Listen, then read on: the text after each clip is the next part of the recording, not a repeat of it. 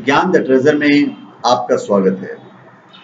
और हम आपको बताएँगे अम्लतास से आप अपने शुक्राणुओं की संख्या को कैसे बढ़ा सकते हैं।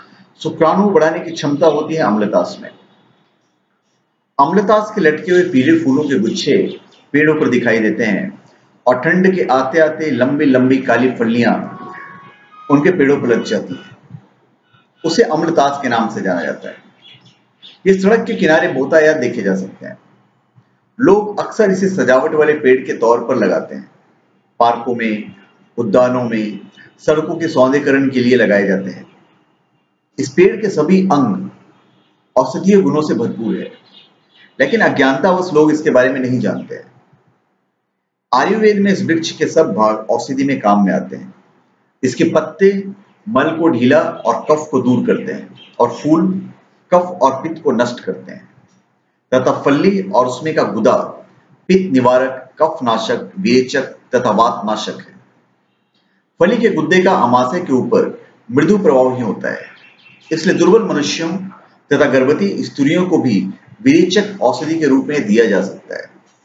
इसे राजस्थानी में किरमाला भी कहते हैं। इसके फूल भी बहुत सारे स्वास्थ्य वर्धक गुण होते हैं फूलों के अंदर।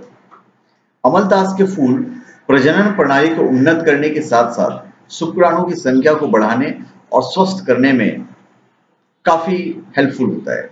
तथा यह नपुंसकता और इरेक्टाइल डिस्फंक्शन की बीमारी को ठीक करने में भी सहायक होता है।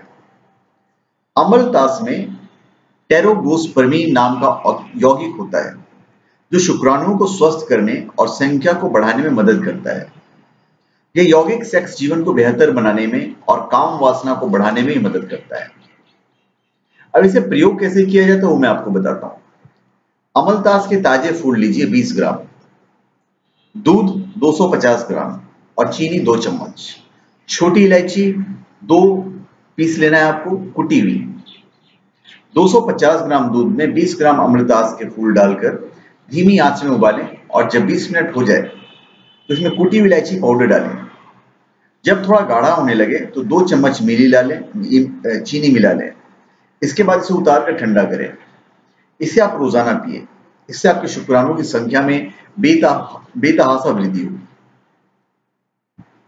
तो धन्यवाद। आप हमारे चैनल पर सब्सक्राइब करें और अपने कमेंट दीजिए। धन्यवाद।